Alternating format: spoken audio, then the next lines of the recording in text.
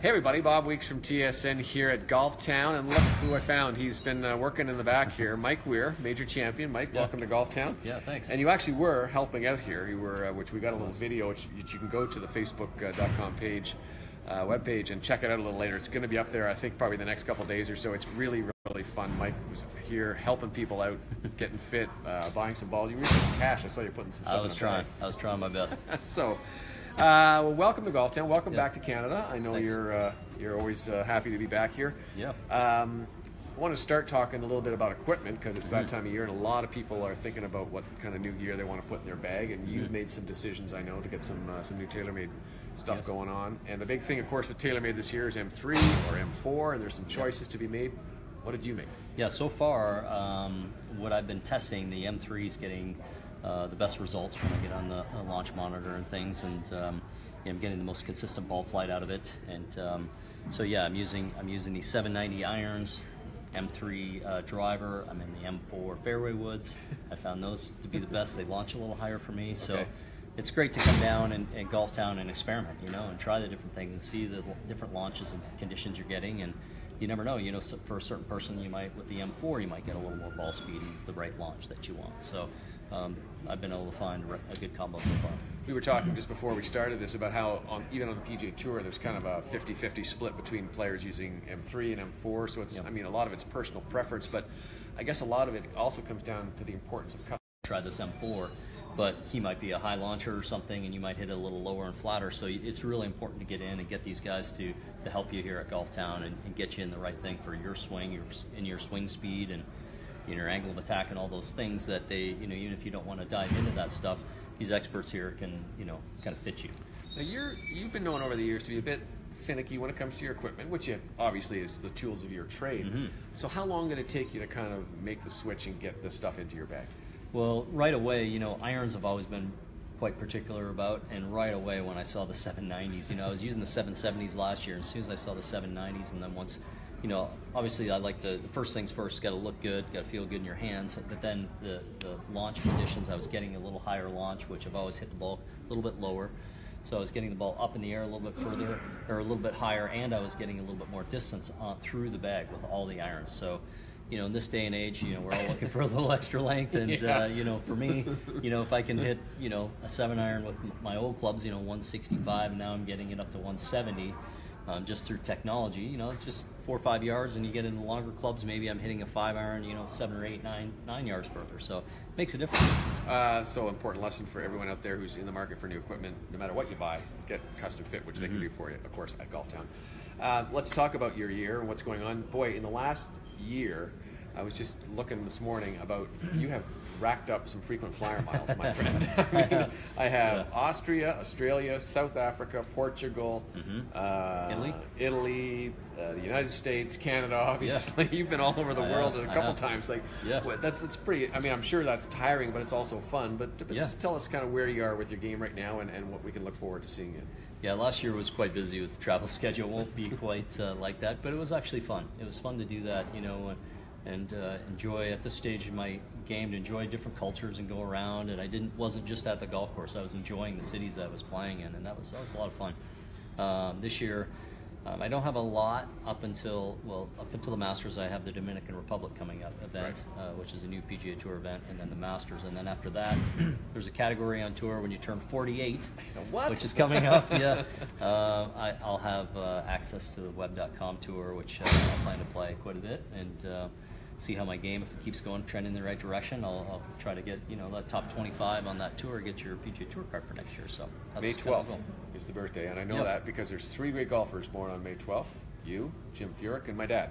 Okay, okay, yeah. he might be the third. Might not quite be in a great category, but uh, um, but but uh, that is a um, obviously a place where you can go and play, and, and I'm sure you have your eyes set a little bit further down the road too, probably Mm-hmm. Yeah. for the Champions Tour. I do. You know, I, I look forward to that as well. And uh, I was talking to Michael Grange a little bit earlier today. I was just telling him, you know, I, you know, in my head, you know, I'd love to get in that top 25 and get on the PGA Tour and see where see where that leads. But if not, if uh, you know, if, if I play that web.com and get just get ready for the Champions Tour at 50, you know, that's that's important because you have to be sharp out there, and, and guys are shooting great scores and they're great players, and there's a great class going in when I turn 48. Mickelson's uh, 50 the same year. Jim Furyk, Ernie Els, I think Goosen's as well. So, um, you know, there's a lot of us uh, right around the corner from that.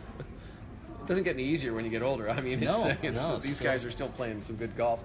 Uh, you've shown some good signs. I know Pebble Beach. You had two good, two really good rounds Mm-hmm. out there. Do you feel like you're sort of starting to see some results? I do, yeah. I, I mean, uh, in Australia, you know, pl- played well. I'm, I'm shooting a lot more rounds in the 60s now in competition, which I hadn't done in a while. And it's starting to, you know, really feel good. My power's come back, um, and uh, yeah, I just need the, you know, you hear Tiger say this all the time, the reps, right? You need to get out there and, and, and play and put it under the gun, and and I think that's going to be important once I get on that web.com tour that I can play a number of weeks in a row. Right now, Set it's up a been schedule. yeah, set up a schedule. I played a couple weeks, and then I had, you know, six weeks off. Played one week, three weeks off. It's hard to get in a bit of a rhythm. So, um, you know, once that date comes around, I'll hopefully get in a bit of a playing rhythm. And but I feel really good about my game.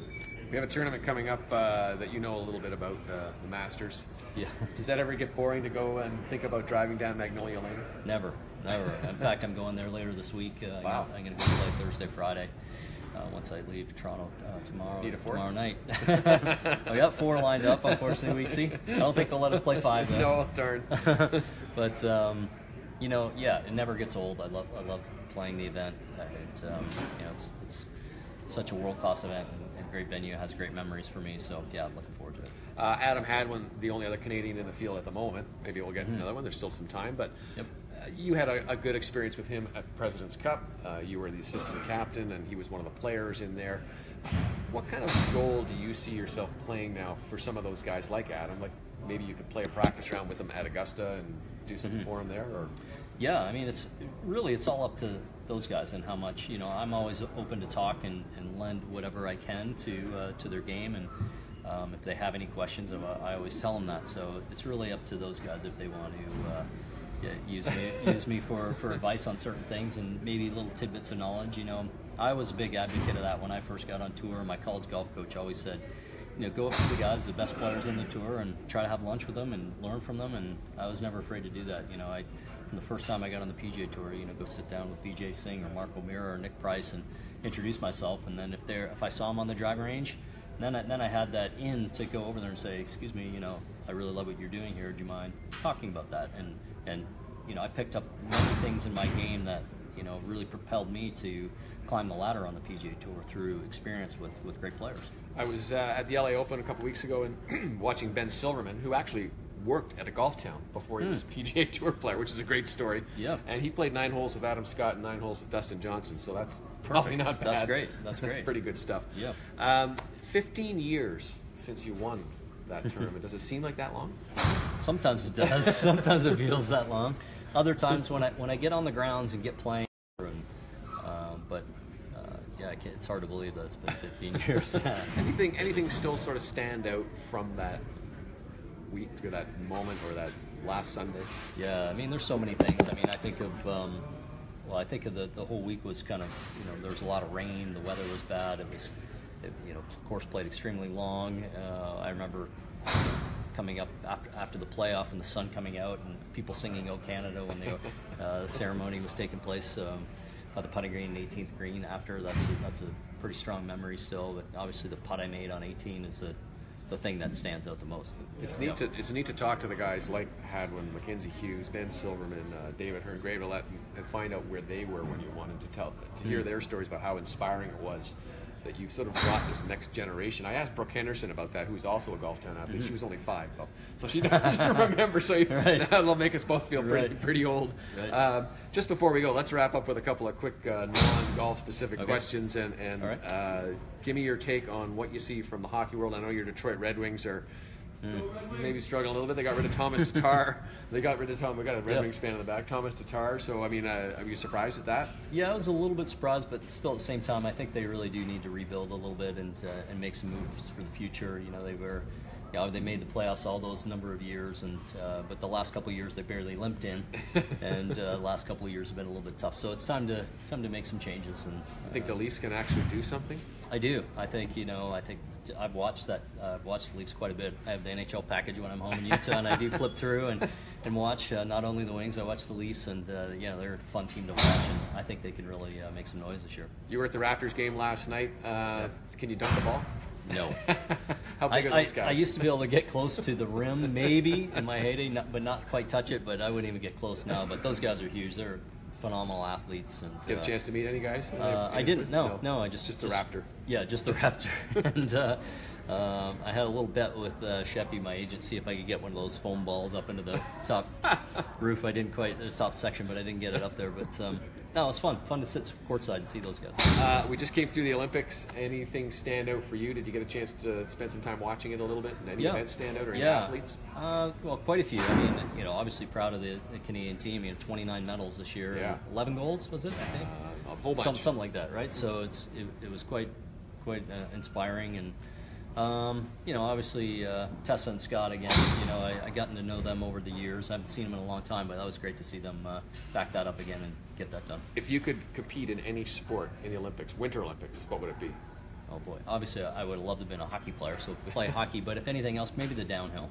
I think, yeah, I think the downhill. Um, I think I'd back in my younger days, maybe I'd have the stomach for it. But um, I think you should maybe do like go curling or something. that would be more your speed these days. yeah, now these days for sure. Uh, we want to say we're going to wrap it up here now. If you're going to be Yeah. uh, at Golf Town or you're going to go to the Golf Town website, you can see the video of Mike helping people out. It's really fun. He did he did a lot of good jobs. He actually put the receipt in the bag. I saw that at the end of the day. We got all sorts of stuff here at Golf Town. You're going to be here if you're in the neighborhood and you're watching this uh, at the Laird store here. You can come out. Uh, Mike's going to sign some autographs for a bit. And uh, thanks for coming out. Thanks, Bob. Hey, hi. Michelle. We said hi to Michelle. Yeah. We had to Hey. Michelle. okay. Thanks everybody. Talk to you soon.